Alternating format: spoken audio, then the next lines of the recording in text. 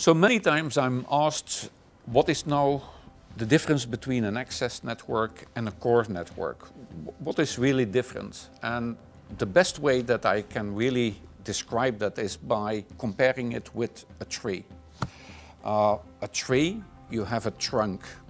That's where it starts. Well, the trunk is basically the core network.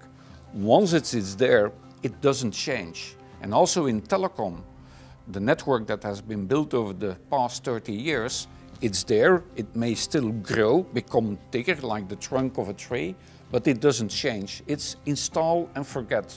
And our product line that we developed in those days, the FOSC uh, product line, was really basically that. You install it and you don't go back in.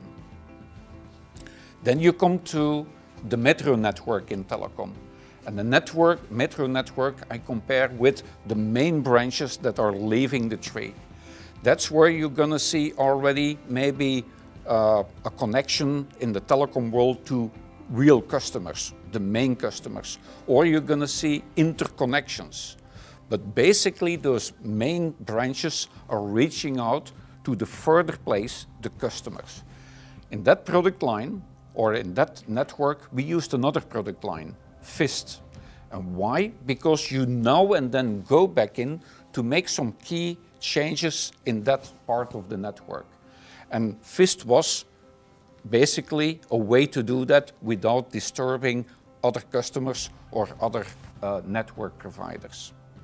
And then we come to the access network, the one that we're going to build in the next uh, centuries. That is where you're going to go to the leaves, and the leaves are the customers. And as you know, leaves are falling down in autumn, they come back in spring. You're going to have twigs that are uh, coming on certain uh, sites, some are dropping. Well, that is also an access network. Customers are changing. It's not a static world. And for that part of the network, that access network, we also going to have to create those products that can cope with those changes.